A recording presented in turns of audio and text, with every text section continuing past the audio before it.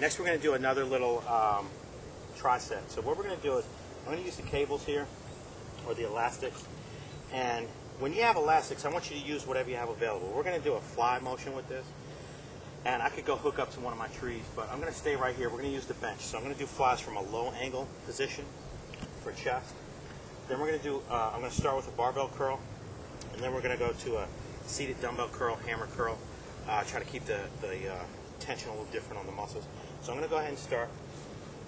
Again, we're doing 20 repetitions for each exercise. We're going to start with barbell curl. So we'll start here with the body bar.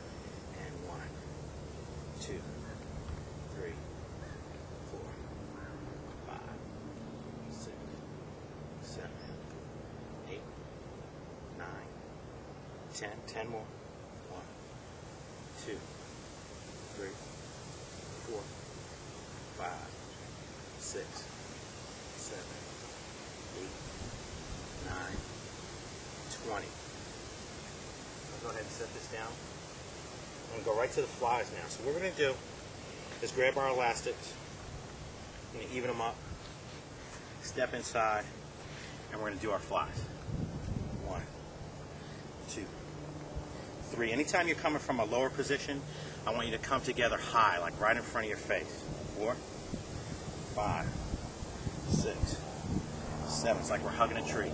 Eight, nine, ten. Last ten. One, two, three, four, five, six, seven, eight, nine, twenty. Very good. So now we're going to hit our biceps again. We're going to change that stress a little bit. We're going to do a hammer curl.